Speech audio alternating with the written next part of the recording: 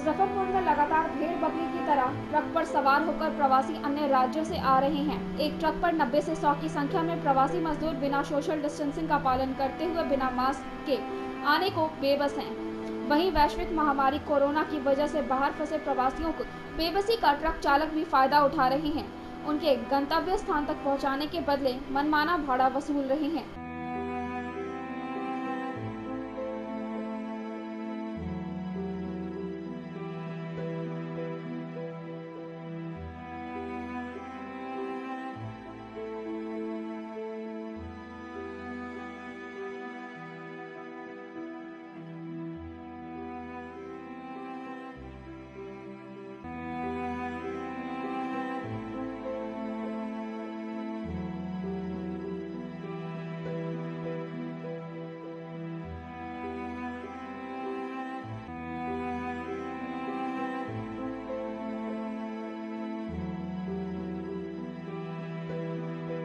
कमाई के चक्कर में ट्रकों में इस तरह इंसानों को भेड़ बकरी की तरह भरा जा रहा है, जैसे कोरोना का डर ही खत्म हो गया है।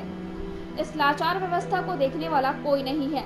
दिल्ली, हरियाणा, राजस्थान, उड़ीसा, मध्य प्रदेश, महाराष्ट्र से लगातार प्रवासी आ रहे हैं। ट्रक पर सवार प्रवासी ने बताया कि इन लोगों में कोई राजमिस्त्री का कोई पलदारी का काम करता है। लॉकडाउन की वजह से 22 मार्च से काम धंधा बंद है। खाने का इंतज़ाम नहीं हो रहा। अब तक किसी तरह से गुजर बसर किया घर तक पहुँचने के लिए वाहन वाले को।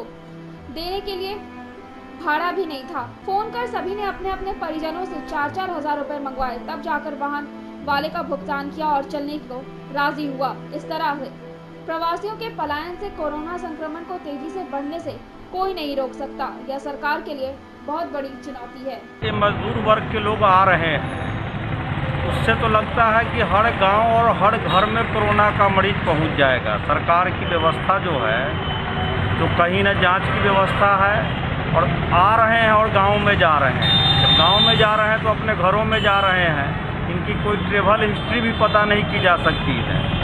और सबसे बड़ा दुखद बात है सरकार बार बार कह रही है कि हमारे यहाँ जो भी अधिकारी है, सवारी की व्यवस्था है, राशन की व्यवस्था है, क्वारंटाइन की व्यवस्था है, लेकिन जिस तरह से हम लोग देख रहे हैं कि पंद्रह दिनों से कि भेड़ बकरियों की तरह लद कर आ रहे हैं और ट्रक वाले भी इनका शोषण कर रहे हैं। कल ऐसा हुआ कि पंद्रह सौ रुपया कटिहार जाने के लिए प्रति व्यक्ति वसूल लिया।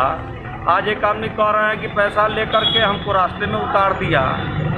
इस गरीबों का कोई बारिश नहीं है और बिहार सरकार कंप्लीट प्रशासनिक अधिकारियों के बलबूते है और कहीं ना कहीं गरीबों का वो विभाजन बिहार सरकार को होना पड़ेगा और इनकी बदुआ लगेगी। मेट्रो के पास आप लोग ट्रक से भेज देता हूँ ट्रक से भेजा है। पैसा भी लिया ट्रक में? एक ट्रक में कितना आदमी थे आप लोग? लगभग सात आदमी। लेटेस्ट खबरों के लिए देखते रहिए एम न्यूज़ जेड न्यूज़ और ताज़ा अपडेट पाने के लिए चैनल सब्सक्राइब करना ना भूलें।